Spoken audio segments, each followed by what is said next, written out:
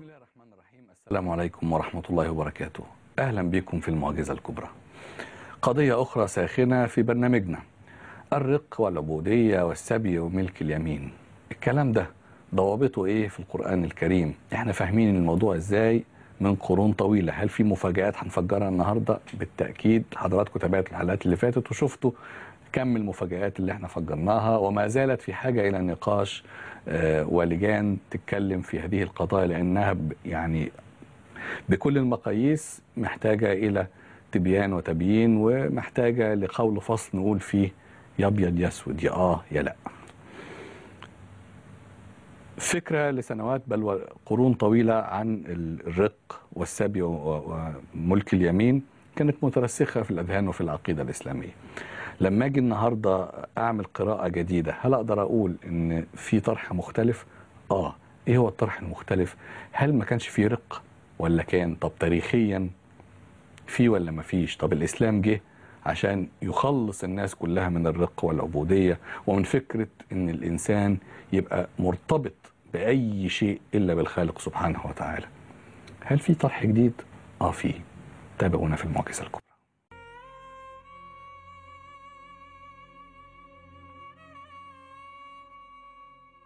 أهلا بكم مرة تانية. النهاردة في المعجزة الكبرى هنتكلم عن العبودية والرق وملك اليمين. هل إحنا فاهمين الموضوع بشكل مختلف ولا لأ؟ عندي أسئلة كتيرة جدا. هتجاوب عن هذا السؤال. هل الإسلام بيقر مسألة العبودية ومسألة إن بعد ما ربنا يبعت النبي صلى الله عليه وسلم بفكرة التوحيد ونظرية آه، الخالق الأعظم توحيد هذا الخالق في كفة ومسألة إن يبقى في ناس نسميهم عبيد وإماء كأن لهم رب مختلف غير الله هل يستقيم الأمر؟ حضراتكم شايفين إن الموضوع كده منطقي ولا الألفاظ القرآن الكريم محتاجة إن إحنا نعيد قراءتها بشكل مختلف؟ تعالوا نجاوب عن كل هذه الأسئلة في هذه القضية الخطيرة الرق والعبودية وملك اليمين في المعجزة الكبرى مع ضيفنا المهندس عدنان الرفاعي الكاتب والمفكر الإسلامي السلام عليكم عليكم السلام ورحمة الله اولا هسأل حضرتك كالمعتاد عن رأيك وبعدين تقول لي الأسانيد. يعني أنا عارف إن حضرتك بتقول إن إحنا فاهمين الموضوع بشكل مختلف وإن الإسلام لا يقر مسألة العبودية لغير الله ولا الرق لغير الله. طيب تاريخيا قبل نزول الإسلام وقبل نعم. نزول اقرأ على النبي صلى الله عليه وسلم. مش كان في شبه في شبه الجزيرة العربية وفي القبائل العرب المختلفة بل وفي التاريخ الإنساني كله.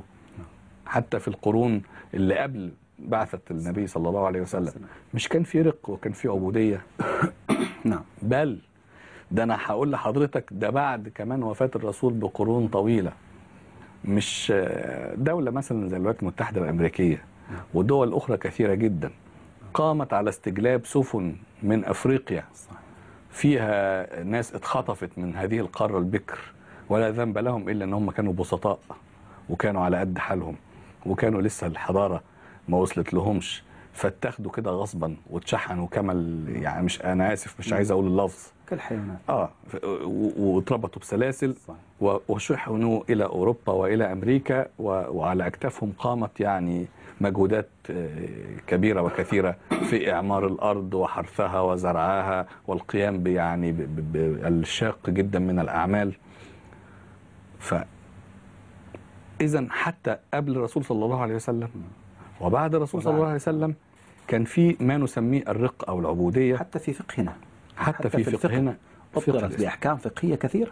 جميل جدا. هنا المأساة. حضرتك شايف إن الأحكام الفقهية اللي عندنا في الدين الإسلامي الحنيف نعم. لا تقر هذه العملية ومفروض بعد نزول الإسلام ما يبقاش في حاجة اسمها لا رق ولا عبودية. نعم. طب اتفضل. بسم الله الرحمن الرحيم. الحمد لله وسلام على عباده الذين اصطفى. أخي علاء من أبشع ومن أفظع القضايا التي لبست على دين الله تعالى القرآن الكريم هي قضية العبيد وملك اليمين. يعني نحن رأينا الناسخ والمنسوخ رأينا الخروج من النار رأينا الشفاعة رأينا إسماع الموتى ورأينا الكثير من القضايا. من أبشع هذه القضايا هي قضية العبيد وملك اليمين. هم ماذا قالوا في هذه القضية؟ قالوا في الحروب يتم سبي النساء والأطفال والرجال. النساء يحولن إلى ملك يمين. يباع شرفهن وكرامتهن وعرضهن في الأسواق. والأحكام التي تطبق على هذه النساء يعني ملك اليمين تختلف عن الأحكام التي تطبق على باقي النساء التي سموها بالحرائر. يعني مثلا يسمح للإنسان يأخذ أكثر من أربعة. يعني أتجوز أنا أربعة حرائر. حرائر واللي أنت عايزه. من ملك اليمين. بالضبط. طيب و- وما فيش حد أقصى لحكاية ملك اليمين؟ لا يعني أبداً. ممكن يبقى عندي أربع زوجات و400 ملك آه يمين؟ ممكن ممكن. حسب الفقه ممكن. وحسب السكن لو عرفت أوفر لهم مكان. بالضبط حسب الإمكانية المادية. وال والكارثة الكبرى أنه يتم الدخول بهن دون عقد نكاح. يعني بمجرد ما دفعت ثمن هذه المملوكة خلاص كأنه عقد نكاح. وهناك ما هو أبشع من ذلك. يعني أنت عندك مملوكة قد يشتري فلان البضع بمعنى تعمل عندك وتنام في الفراش عنده. قضايا يعني الحقيقة يندى لها الجبين.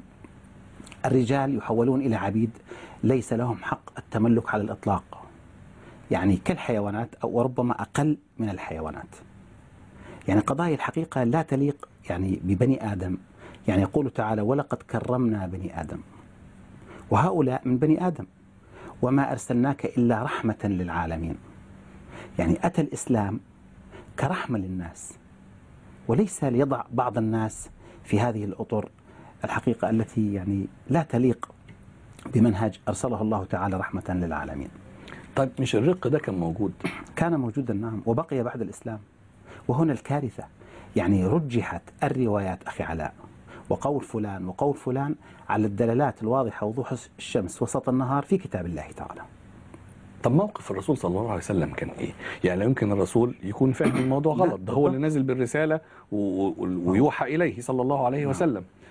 أول لما نزل واستقرت الأوضاع في المدينة نعم وفتحت مكة نعم وخلاص نعم يعني خلصت القضية. نعم الرسول صلى الله عليه وسلم علم الصحابة إيه؟ علم الناس إيه في مسألة الرق؟ هل كان في لسه رق على أيامه في فتح مكة مثلا؟ ولا ما فيش؟ يعني أخي علاء القرآن الكريم نزل على مدار 23 عاما لم ينزل دفعة واحدة من السماء.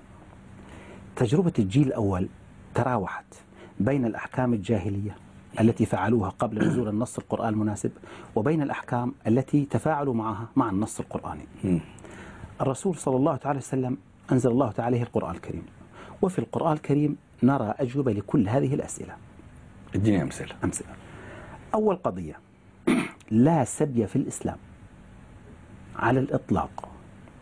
يعني إذا كان الرجل المقاتل الذي يقاتلون يقول الله سبحانه وتعالى عنه فإذا لقيتم الذين كفروا في المعركة يعني فضرب الرقاب حتى إذا أثخنتموهم فشدوا الوثاق. فإما منا بعد وإما فداء حتى تضع الحرب أوزارها. إذا كان الذي يقاتلون بالسيف ويقتل منا عندما نمسكه كأسير هناك طريقان لا ثالث لهما في التعامل معه. فإما منا بعد وإما ت- يعني تركه لوجه الله تعالى وإما فداء إما بتفاديه حتى تضع الحرب أوزارها. فما بالك بأمه أو بابنته أو بأخته أو بأخيه أو بأبيه؟ السبي من أصله ليس موجودا في كتاب الله تعالى على الإطلاق. بعض الناس وبعض الآراء قالت ما هو زي ما بيتعمل فينا بنعمل فيهم هم لو خدوا أسرى منا بي- بيتعاملوا كده في مع الستات وبيتعاملوا مع الأطفال وبيتعاملوا مع الرجال. فإحنا كمان ثانية واحدة بس أكمل السؤال. فإحنا كمان هنعمل- نعمل زي ما بيعملوا فناخد برضو ستاتهم ويبقوا ملك يمين عندنا زي ما هم برضو بي بي- يعني بينتهكوا آه، هذه الحرمات. فإحنا كمان ننتهك هذه الحرمات. نعم. إيه رأيك؟ هناك نص قرآني صريح قال والحرمات قصاص. مم.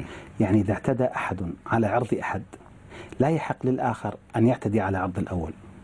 أمال معنى شوف قصاص النص هنا إيه؟ تتبع أثر الفاعل ذاته. يبقى اقتص من, من الفاعل. أما أخته أمه ما علاقتها بالموضوع؟ لا تزر يعني وازرة وزر أخرى. يعني القرآن والإسلام أتى رحمة للعالمين. مم. يعني إن كان هناك فاسق اعتدى على عرض أحد مم. يتم القصاص منه هو. أخته أمه ابنته لا علاقة لها في الموضوع.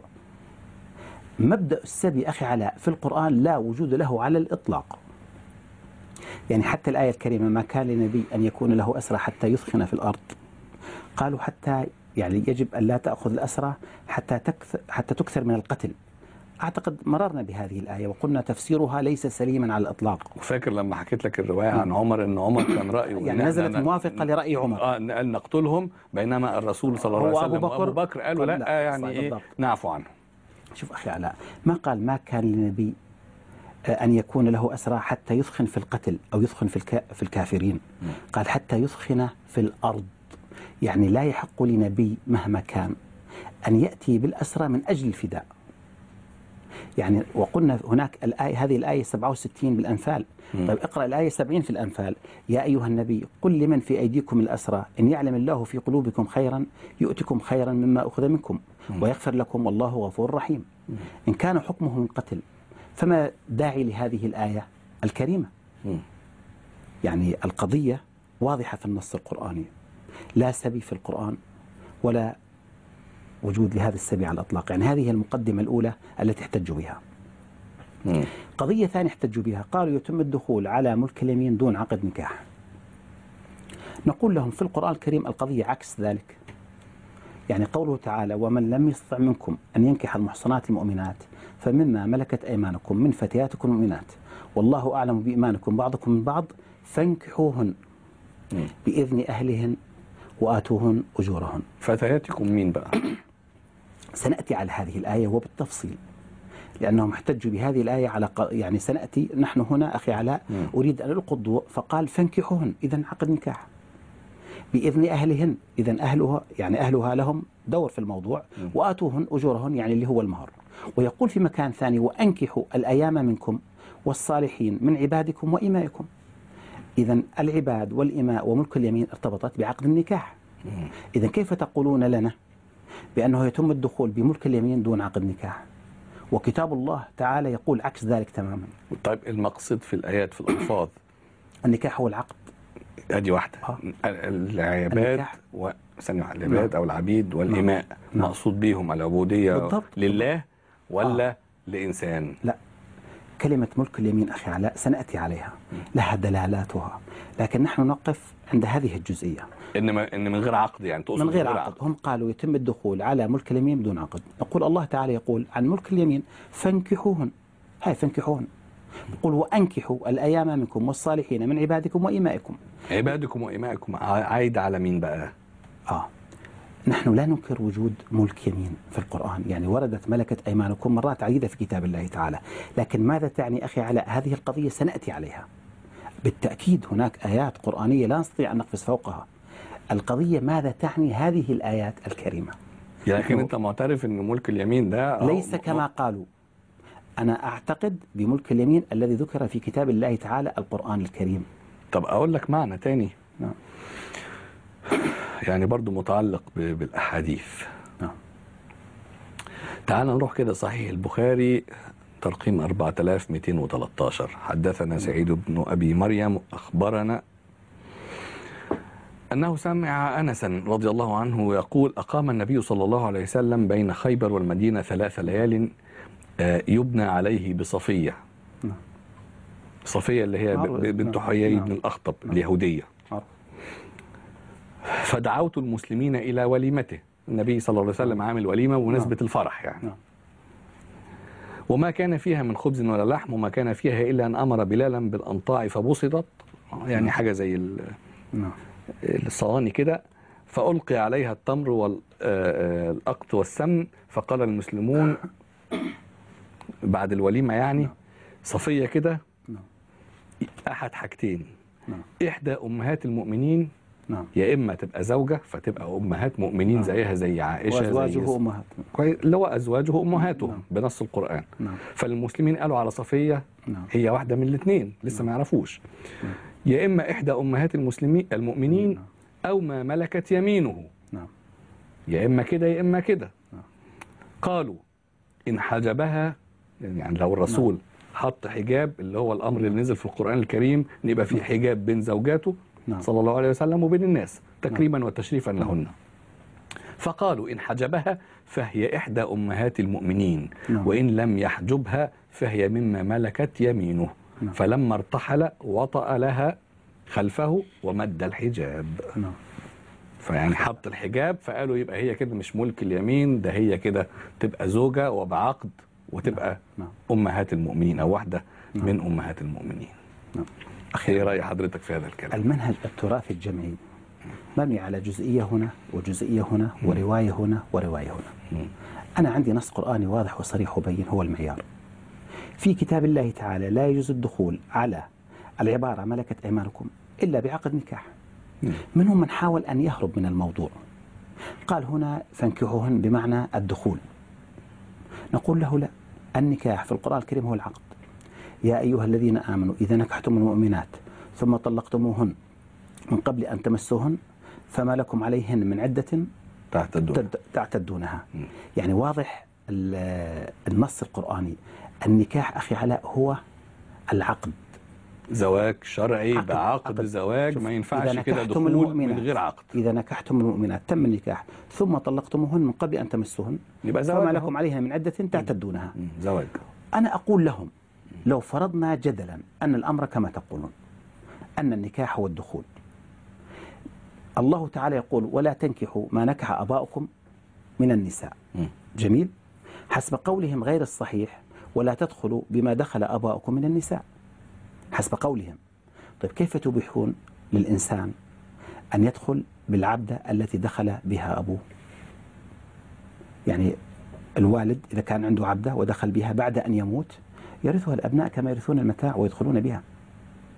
طبعا هو كلامهم ليس صحيحا ولكن لو قلنا جدلا أن النكاح المعني هو الدخول كيف إذا تبيحون أن يدخل الإنسان بالعبدة التي دخل بها أبوه؟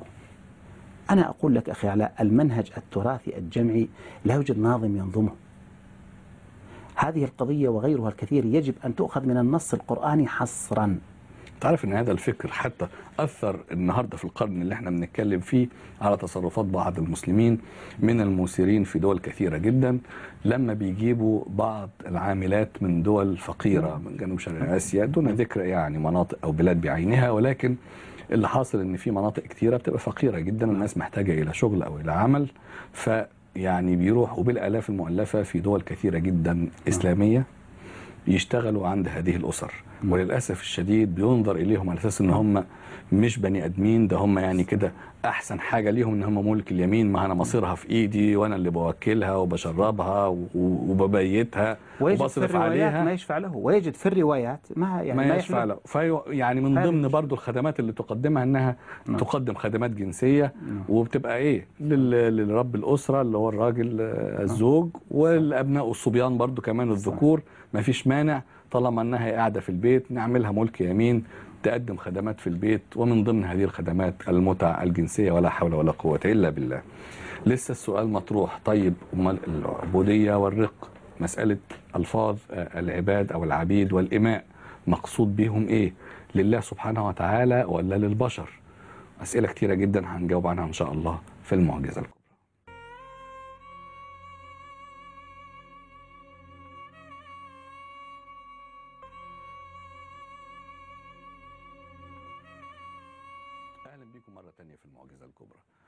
يا ترى ال- العباد والامام مقصود بيها لله ولا لحد غير الله؟ يعني نفسي نقف على الألفاظ كده زي في المقدمة لما قلنا إن مسألة السبي لازم يكون لها معنى الرق لا لازم نقف على معناه العبودية العبيد العباد الاماء قلنا إن السبي أحيانا بيبقى يعني بي- بيوصل للناس معنى إنه ما دام دخلنا على قبيلة على ناس في معركة وانتصرنا عليهم فقتلنا مثلا رجالتهم هناخد ستاتهم آه، آه، بعد ما قتلنا رجالتهم أو اسرناهم خلاص دول بقوا سبي من حقنا يتوزعوا على الناس اللي انتصروا في المعركة كل واحد ياخد واحدة أو اتنين يعاشرها جنسيا وتبقى ملك اليمين بتاعته دون عقد دون زواج دون نكاح دون أي حاجة. الكلام ده منضبط ولا مش منضبط؟ كلام محتاج كلام. اتفضل. علاء إذا نحن فندنا مقدمتين. قالوا السبي قلنا لهم لا يوجد سبي في القرآن على الإطلاق. قالوا يتم الدخول دون عقد نكاح. قلنا لهم هذا كلام غير صحيح. وأتينا بالآيات التي تبين هذه الحجة. المقدمة الثالثة التي انطلقوا منها في هذه القضية التي لبسوها على كتاب الله تعالى قالوا العبد لا يملك. يعني لا يحق له التملك. واستشهدوا بآية كريمة. هي قول الله تعالى ضرب الله مثلا عبدا مملوكا لا يقدر على شيء. قالوا شوف هاي الله تعالى يقول عبدا مملوكا لا يقدر على شيء. طبعا استشهادهم بهذه الآية أيضا ليس بمكانه هذا مثل يضربه الله سبحانه وتعالى. يعني أقول مثلا لك سأضرب لك مثلا رجلا طويلا. يحب الشاي والقهوة. هل كل رجل طويل؟ وهل كل رجل يحب الشاي والقهوة؟ تعال نقرأ السياق التابع لهذه العبارة القرآنية أخي علاء. ضرب الله مثلا عبدا مملوكا لا يقدر على شيء.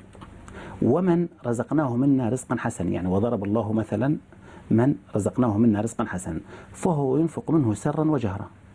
هل كل من رزقه الله تعالى رزقا حسنا هل ينفق منه سرا وجهرا؟ بالتأكيد لا. أيضا ليس كل عبد مملوك ولا يقدر على شيء. هذا مثل يضربه الله تعالى ولا يعني جنسا من البشر هم العبيد لا يحق لهم حق التملك. انظر هناك آية ثانية. تضع لا, لا قبل الآية الثانية. نعم. خدت بالك في المقارنة إن هو في في الطرف الأولاني؟ نعم. قال عبدا. ضرب الله مثلا عبدا مملوكا لا عبدا. مملوكا. في الثانية و... قال؟ ومن رزقناه منا رزقا حسنا فهو ينفق منه سرا وجهرا. ما قالش عبدا أو رجلا. يعني تقدير الكلام وضرب الله مثلا من رزقناه؟ أو عبداً- عبدا رزقناه بالضبط بالضبط. يعني كلمة عبد على الطرفين. يعني تقدير الكلام ضرب الله مثلا عبدا مملوكا لا يقدر على شيء وضرب الله مثلا عبدا رزقناه منا رزقا حسنا فهو ينفق منه سرا وجهرا. تقصد إن العبودية هنا لله بقى. لله قولا واحدا. يعني سليمان أكثر إنسان ملك على الأرض سليمان. وصفه الله تعالى بالعبد وضع له ال التعريف نعم العبد أول معروف الآية الكريمة. يعني كلمة العبد لا تعني ما يذهبون إليه. انظر أخي علاء إلى آية شبيهة جدا في المطلع. يعني هذه الآية قال ضرب الله مثلا عبدا مملوكا. في الآية الأخرى يقول ضرب الله مثلا رجلا فيه شركاء متشاكسون ورجلا سلما لرجل. هل كل رجل فيه شركاء متشاكسون؟ بالتأكيد لا. هل كل رجل هو سلما لرجل؟ بالتأكيد لا. إذا ليس كل عبد هو مملوك ولا يقدر على شيء. يعني الاستشهاد بهذه الآية ليس صحيحا ولا بأي شكل من الأشكال. هذا مثل يضربه الله تعالى. يعني كلمة عبد تعني إنسان ما لا على التعيين. لا تعني فردا من جنس محدد هو العبيد كما قالوا. طيب أرجع تاني لقضية ملك اليمين. نعم. خصوصا أنا عندي برضو في الروايات رواية بتتكلم برضو عن واحدة من نعم. المغازي اللي حصل فيها نوع من السبي. نعم. إن بعض الصحابة آه، بعد ما خلصت هذه المعركة الصغيرة خدوا نساء ال- ال- نعم. الكفار أو المشركين اللي انتصروا عليهم نعم. وبعدين يعني تحرجوا بقى من الدخول يعني عليهم نعمل فيهم إيه؟ فيعني الرسول صلى الله عليه وسلم قال لهم لا ما يعني آه، ما تتحرجوش من أزواجهم. كانوا الصحابة متحرجين نعم. إن هو عارف إن الست دي زوجة رجل مشرك. نعم. مشرك كافر بس هو في النهاية فطرته قالت له إنها م- ست يعني متجوزة. متزوجة. آه، كويس؟ صحيح. فتحرجوا إن هم يدخلوا بيهم يعني أو يعاشروهن. نعم. فقيل لهم لا لا تتحرجوا ما دام أنتوا خلاص بقوا ملك يمين وهذا إيه؟ يغني عن عقد النكاح. نعم. أدي برضو الكتب بتقول كده. أخي علاء آه يعني أنت تستعجل قليلا إلى أن نصل إلى تحريف ملك اليمين. أنا بستعجل عشان بقول لك بقول لك كل اللي بيدور في أذهان الناس. الكلام اللي عندي ده على فكرة. نعم. الكلام اللي عندي ده. نعم. أنا مش جايبه كده يعني والله في, اجتهادا. في الرواية. كويس؟ روايات في صحيح البخاري وفي الفقه. وفي الفقه. وال... والبرنامج ده موسوعة الحديث الشريف وزارة الأوقاف المصرية المجلس الأعلى للشؤون الإسلامية نعم. يعني مش مثلا كتاب مرمي على الرصيف أنا شاريه ب 3 يعني جنيه إلا ربع مش. معروف مصدره صحيح. لا أنا بقول لحضرتك بالترقيمات. بالنصوص من صحيح البخاري أو مسلم أو المسانيد أو كل كتب الحديث الموافق عليها من المجلس الأعلى. للشؤون الإسلامية شوف أخي علاء نحن عندنا في النص القرآني نميز بين الكلمة في الصيغة الاسمية وبينها في الصيغة الفعلية بمعنى. بمعنى عندما تقول مثلا قلم. كلمة قلم تشير إلى شيء هو قلم صيغة اسمية. أما عندما تقول أكلت أكلت ماذا؟ يعني الصيغة الفعلية دائما تأخذ دلالاتها من سياق الكلام المحيط بها. تقول مثلا أكلت كذا شربت كذا. ملك اليمين لم يرد ولا مرة في كتاب الله تعالى بالصيغة الاسمية. أتى بأربع صيغ كلها بالصيغة الفعلية وبالفعل الماضي حصرا. يعني قال ملكت أيمانكم ملكت أيمانهم ملكت أيمانهن ملكت يمينك. كلها صيغ فعلية وبالفعل الماضي حصرا. ماذا تعني هذه العبارة؟ مم. كلمة يمين أخي علاء لها عمق مادي وعمق معنوي. وما تلك بيمينك يا موسى؟ هذا عمق مادي. عمق معنوي الأيمان. مم. ما هو ملك اليمين؟ أن يقع إنسان تحت إشراف. إنسان آخر وتحت تربيته ورعايته ومسؤوليته وإدارته. زي اليتامى كده يعني؟ مثلا. يعني إنسان ما يعني مثلا واحد توفى وترك مجموعة من الأطفال فرضنا هذا نوع من أنواع ملك اليمين. هو أنواع سنرى بعد قليل. يأتي مثلا الأستاذ علاء ويقول هؤلاء تحت إشرافي تحت مسؤوليتي تحت تربيتي تحت رعايتي. هذا نوع من أنواع ملك اليمين. هذا نوع. لكن أنا أريد أن أقف أخي علاء سنأتي إلى كل هذه الأنواع. احتجوا هم بآية. قال والله فضل بعضكم على بعض في الرزق. فما الذين فضلوا؟ براد رزقهم على ما ملكت أيمانهم فهم فيه سواء. أفبنعمة الله يجحدون؟ أنا أود أن أقف عند هذه الآيات الكريمة التي استشهدوا بها لنبين للناس أن استشهادهم ليس صحيحا على الإطلاق. ماذا قالوا؟ قالوا كما أنكم لا تعطون ملك اليمين ولا يملكون شيئا. كذلك أنتم لا تملكون شيئا في هذا الكون. يعني استشهدوا فيها على مسألة في العقيدة. يعني هذه الآية قالوا تبين مثلا يضربه الله تعالى للجاحدين عقيدة بألوهية الله تعالى. مؤكدا فيه مؤكدا فيه أن الرزق لا يرد على ملك اليمين. تعالي نقف عند هذه الآية. الآية تتكون من ثلاث عبارات. والله فضل بعضكم على بعض في الرزق. خطاب مباشر مش خطاب الغائب شوف فما الذين فضلوا؟ براد رزقهم. شوف انتقل للغائب. على ما ملكت أيمانهم فهم فيه سواء. بصيغة الغائب. أفبنعمة الله يجحدون بصيغة الغائب. إذا أنا عندي فما الذين فضلوا برد رزقهم على ما ملكت أيمانهم فهم فيه سواء؟ عبارة. أفبنعمة الله يجحدون عبارة. إذا هذه العبارة الأولى لها أن ترتبط بالعبارة السابقة لها والتي هي بذات الصياغة بصيغة الغائب. إذا أنت إن لم ترد من مما أعطاك الله تعالى على هؤلاء المساكين فأنت جاحد بنعمة الله تعالى. ولا علاقة الآية بما قالوا لا من قريب ولا من بعيد. يعني هنا ملك اليمين المساكين آه الغلابة بالضبط. الذين يقعون تحت إشرافكم ورعايتكم وترونهم أنهم بحاجة. إن لم تعطوهم من رزقكم فأنتم جاحدون بنعمة الله تعالى. طب المثل اللي حضرتك ضربته. قلت للأستاذ علاء راجل طيب أرجو إن أنا أكون كده يا رب. نعم. وفي آه واحدة ست كانت متجوزة عندها أربع خمس أولاد. نعم. توفي الزوج نعم. فهي أصبحت أرملة نعم. وما عندهاش كسب. نعم. والأولاد دول أصبحوا يتامى وما عندهمش أي دخل ولا حد نعم. يرعاهم نفسيا قبل ماديا. نعم. لو أنا راجل طيب وهقول أنا عايز يبقى يعني دول تحت إشرافي وولايتي تحت تربيتي، تحت رعايتي. كويس. بقوم كده. اسمهم ملك يميني. نعم. أقدر اتجوز يعني اعاشر لا الست. لا معاذ الله. ولو الست اللي لا، عندها. بنات في سن الشباب 16 سبحان الله. 17 سنة أقدر أدخل. يعني بالبنات دي جنسيا وأقول ده ملك يمين؟ أبدا أبدا أبدا هذا كله افتراء وتلفيق على منهج الله تعالى. منهج الله تعالى بينا لا يحق لإنسان يدخل بإنسان دون عقد نكاح شرعي صحيح. لكن انظر أخي على ماذا تقول الآية أفبنعمة الله يجحدون؟ ما قال أفبالله يجحدون؟ شوف أفبنعمة إذا القضية قضية جحود نعمة. وليست قضية جحود ألوهية. يعني القضية لا ترتبط بالعقيدة كما قالوا.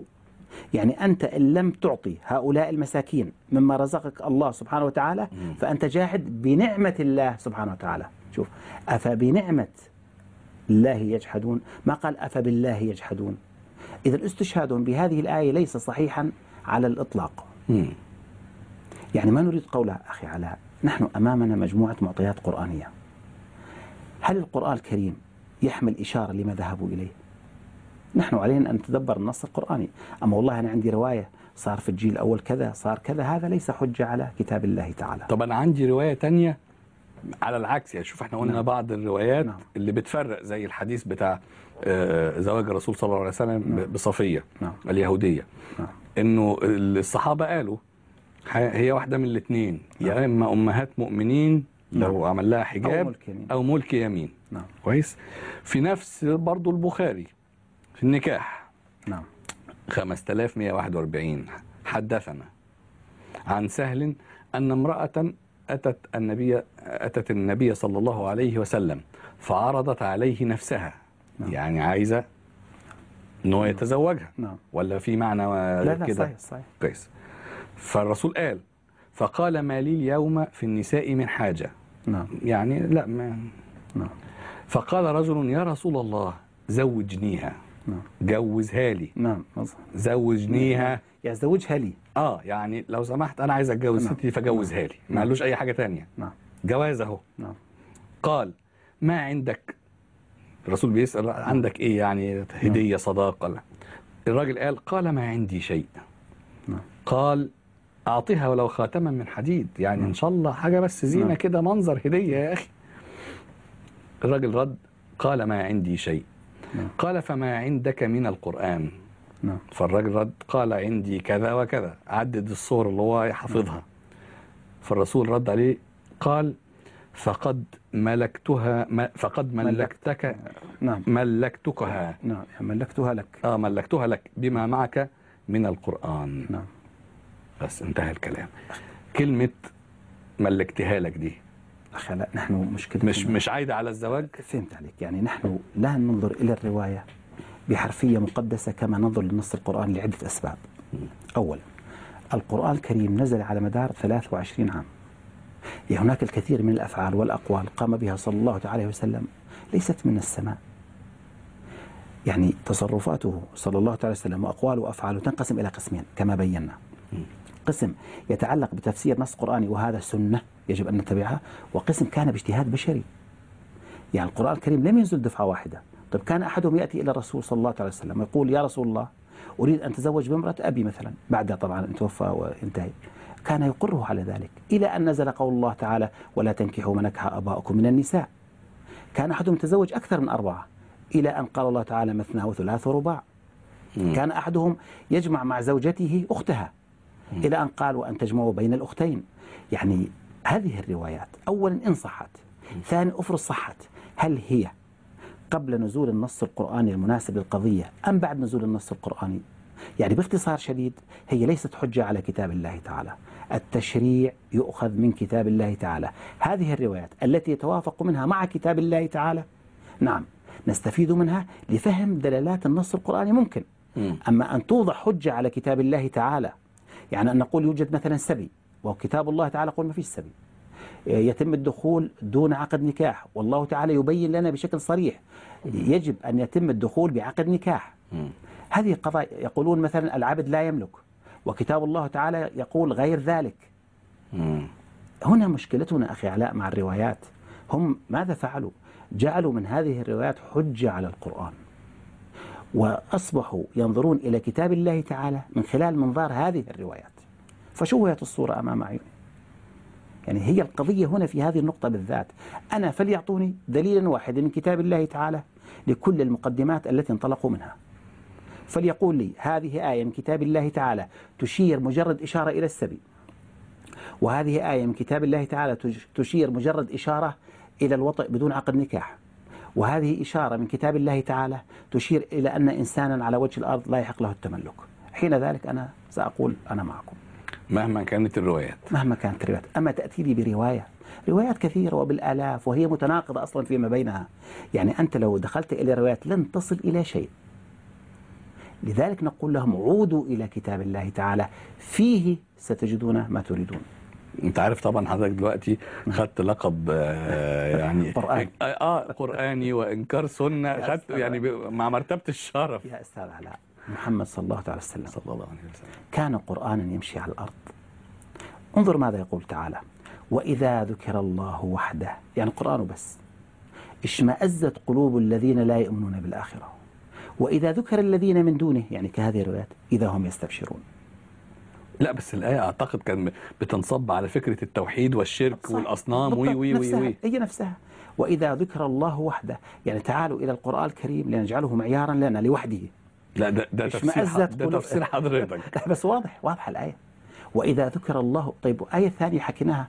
تلك آيات الله نتلوها عليك بالحق القرآن فبأي حديث بعد الله وآياته يؤمنون؟ يعني بعد القرآن. ويل لكل أفاك أثيم. يسمع آيات الله تتلى عليه. ثم يصر مستكبرا كأن لم يسمعها. القرآن واضح أخي علاء وجلي. ألم يقل الله تعالى ونزلنا عليك الكتاب تبيانا لكل شيء؟ مم. طيب كيف لا يكون تبيانا لقضية العبيد والكاليمين تقصد المشكلة في الطريقة اللي إحنا قرينا بيها القرآن. بالضبط. نح هم ينظرون إلى كتاب الله تعالى بعيون تاريخية. يضعون من الرواية منظارا لكتاب الله تعالى. مم. يضعون دلالاتها حجة على كتاب الله تعالى فتتشوه الصورة. طيب أقرأ لك حديث تاني في صحيح البخاري في أيضا باب النكاح 5064 حدثنا قال أخبرني عروة أنه سأل عائشة عن قوله تعالى وإن خفتم ألا تقسطوا في اليتامى فانكحوا. فانكحوا ما طاب لكم من النساء مثنى وثلاث ورباع فإن خفتم ألا تعدلوا فواحدة. فواحدة أو ما ملكت أيمانكم ذلك أدنى ألا. تعولوا.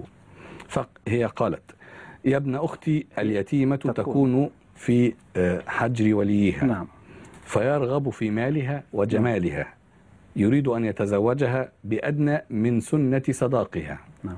فنهوا أن ينكحوهن إلا أن يقسطوا لهن فيكملوا الصداق وأمروا بنكاح من سواهن من النساء. أخي علاء هذه الرواية ضعها في ميزان هذه الآية الثالثة في سورة النساء. ستجد أنها موضوعة من أولها إلى آخرها. وعندما نتحدث عن مسألة تعدد الزوجات سأثبت لك بأكثر من بند وبأكثر من شرط أن هذه الرواية موضوعة من أولها إلى آخرها. يعني مثلا على السريع. وهو اليتيمة عندما تبلغ النكاح لا تصبح يتيمة. وابتلوا اليتامى حتى إذا بلغوا النكاح لا يتم بعد احتلام. يعني الرواية موضوعة من أولها إلى آخرها. ثم ماذا تقول ال- الرواية؟ يعني إذا أنتم أحدكم أراد أن يتزوج يتيمة ولم يعطيها صداقها فليدعها وليأخذ غيرها مثنى وثلاث رباع. هل يعقل يا أخي أن الله تعالى يأمر الناس بالابتعاد عن النكاح من اليتيمة؟ هذا ضد اليتيمة وليس مع اليتيمة. هذه رواية مرفقة حتى على عائشة رضي الله تعالى عنها. يعني تضع هذه الرواية. سن... سنأتي إلى هذه الرواية إن شاء الله تعالى في مسألة تعدد الزوجات. لكن انظر إلى هذه الرواية. جعلوا من هذه الرواية معيارا لفهم هذه الآية الكريمة. فأعرضوا عن الشرط وأن خفتم ألا تقسطوا في اليتامى هذا شرط. فانكحوا ما طاب لكم من النساء مثنى وثلاث رباع هذا جواب الشرط. طب اربط لنا فعل الشرط بجواب الشرط. أتت هذه الرواية فأعرضوا عن تعلق فعل الشرط بجواب الشرط. وتعدد الزوجات في القرآن يختلف عنه في الموروث الفقهي.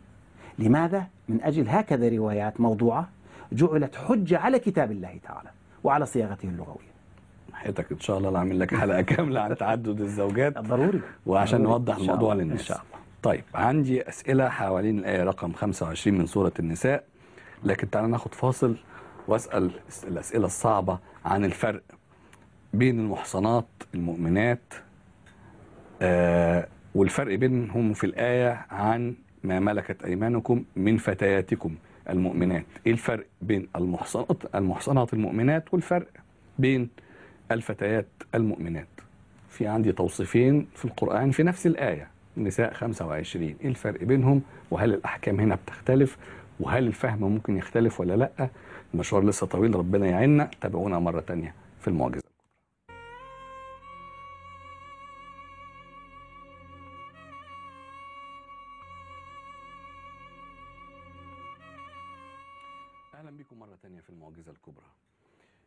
وإحنا بنقرأ الآيات اللي بتتكلم عن ملك اليمين بتتكلم عن الاماء والفتيات المحصنات. هل نقدر نقف من الألفاظ دي على فهم أعمق للقضيه الحساسة اللي إحنا بنتكلم فيها؟ أقرأ الآيات تاني لحضراتكم. عندنا النساء آية رقم 25 هم- ومن لم يستطع منكم طولا أن ينكح المحصنات المؤمنات فمما ملكت أيمانكم من فتياتكم المؤمنات. يعني هنا عندي نوعين أهو. محصنات مؤمنات وفتيات مؤمنات. إيه ال- المحصنة المؤمنة هي مين؟ نعم. الفتاة المؤمنة هي مين وإيه الفرق بينهم؟ وعندي كمان في سورة الم- المؤمنون من خمسة إلى سبعة الآيات. والذين هم لفروجهم حافظون إلا على أزواجهم أو ما ملكت أيمانهم. فإنهم غير ملومين. فمن ابتغى وراء ذلك فأولئك هم العادون. يبقى عندي برضو تصنيفين. ربنا حاطط الأزواج في ناحية وما ملكت أيمانهم في ناحية تانية. وغير كده يبقى بيعتدي على حدود الله وشرع الله. ممكن بقى تفسر لي في الآية دي وفي الآيات دي وفي الآيات دي. مين هم الفتيات ومين هم المحصنات؟ ومين؟ ومين هم الأزواج؟ مين هم ملك اليمين؟ أخي علاء القرآن الكريم لم يعطى حقه من التدبر الكامل. في القرآن الكريم هناك حقيقة غيبت أربعة عشر قرنا. مم. وهي أن عقد الزواج يعني بين رجل وامرأة يتكون من نوعين. إن كان هناك تناظر في العقيدة فهو عقد نسميه زواج زوجية يعني. وإن لم يكن هناك تناظر يسمى عقد ملك يمين. يعني الرجل عندما يكون مع المرأة في تناظر من العقيدة اسمه زوج المرأة واسمها زوجة للرجل. مم. أما إن لم يكن تناظر لا تسمى زوجة تسمى امرأة. وسأقرأ. تقصد في اللغة العربية إن في من القرآن. قبيل فهم كلمة زواج إن يبقى لأنه النظير. نظير الزوج هو زوج. النظير. إذا. النفوس زوجت يعني بالضبط. تقصد المعنى ده. يعني أنا هنا أريد أن أبين قضية. كل زوجة امرأة وليست كل امرأة زوجة. يعني مثلا إبراهيم عليه السلام قال امرأته طبعا هي زوجة. أما عندما يقول زوجة يعني خلاص هناك تناظر في العقيدة. أما إن لم يكن هناك تناظر في العقيدة لا يقول زوجة. تقصد حضرتك إن أنا مثلا لو متجوز اتنين نعم. زوجتي الأولى مسلمة.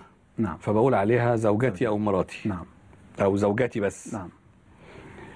ولو أنا متجوز واحدة تانية افرض مثلا حبيت أغير فرحت طالع روسيا أوكرانيا حاجة كده جبت آه، آه، نعم. آه، واحدة ست من هناك. غير مؤمنة قصدك.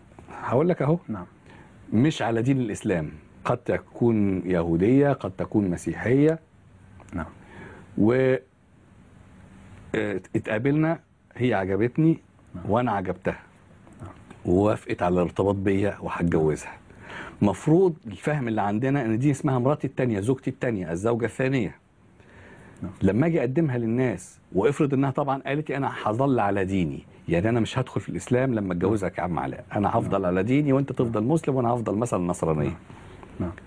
وهتجوزها على ذلك. وحريتها في إنها تمارس شعائرها وعقيدتها والإسلام بيسمح مفروض بكل هذه الحريات. وأنا بستغرب والله يعني إذا كان في غرفة واحدة ممكن يعني تساع رسالتين أو ديانتين مش عارف إزاي كوكب الأرض مش سايع الرسالات والناس عمالة يعني تتخانق مع بعض وتكفر بعض. ما علينا. فالست التانية دي اللي أنا نعم. اتجوزتها وظلت على دينها نعم. يهودية أو نصرانية. نعم. وأنا مسلم واتجوزتها. نعم. لما أجي أتكلم عنها ما أقولش إنها زوجتي أقول إنها إيه؟ مراتي. يا علاء. الآية 25 في سورة النساء تجيب على هذا السؤال بشكل صريح الذي الآية التي سألت عنها. مم. لكن أود أن أقول لك اسمع إلى قول الله تعالى. ضرب الله مثلا للذين كفروا امرأة نوح وامرأة لوط. ما قال زوجة نوح وزوجة لوط؟ قال امرأة لأنه لا يوجد تناظر في العقيدة. كانتا تحت عبدين من عبادنا صالحين فخانتهما. تقصد هم ما كان الستتين دول ما كانوش مؤمنين بالله. لا ودخلوا النار. يعني لا يوجد تناظر في العقيدة. انظر أيضا. وضرب الله مثلا الذين آمنوا امرأة فرعون. قال امرأة فرعون. ما قال زوجة فرعون؟ لأن هي مؤمنة وهو كافر. بالضبط. لذلك يعني القرآن دقيق اللفظ. انظر ماذا يقول تعالى. هم وأزواجهم في ظلال على الآرائك متكئون. يعني لو كان فرعون زوج لامرأته تصير في مشكلة في الموضوع أو نوح عليه السلام. كان فرعون هيخش الجنة مع مراته بالضبط. احشر الذين ظلموا أزواجهم وما كانوا يعبدون من دون الله فهدوهم إلى صراط الجحيم. ادخلوا الجنة أنتم وأزواجكم تحبرون. فلو كان آه، فرعون زوج لامرأته ولو كان نوح ولوط يعني أحدهما زوج امرأته لحدثت مشكلة هنا في هذه الآيات الكريمة.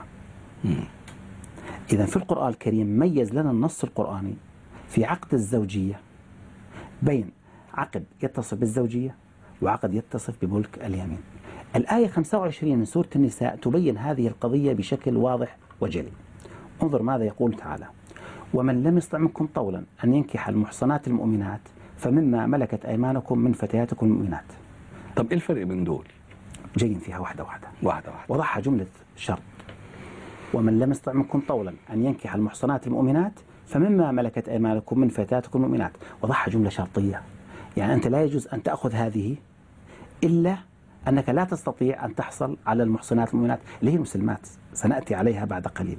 يعني تقصد إن المحصنات المؤمنات هم المسلمات- المسلمات. بالضبط. يعني واحد موجود في مكان ما في العالم لا يستطيع الزواج بمسلمة. مم. شوف وضعها جملة شرطية. رجع قال والله أعلم بإيمانكم بعضكم من بعض. قضية إيمانية. رجع قال فإذا أحصن يعني تزوجن فإن أتينا بفاحشة فعليهن نصف ما على المحصنات من العذاب. مم. يعني أنا أقول المسلمات على وجه الأرض العقوبة واحدة. لماذا هذه عقوبتها النصف؟ لأنها ليست مسلمة وتتعلق مع المسلم بعقد نكاح رجع قال ذلك لمن خشي العنة منكم. يعني ابعد عنها. يعني هذا يعني ضيق الموضوع. يعني فقط الذي يخاف أن يقع في الضرر الشديد. رجع قال وأن تصبروا خير لكم. لا ده أنا عندي كده أسئلة كتير بقى فخمس أماكن بين لنا أن هذه المرأة المعنية مم.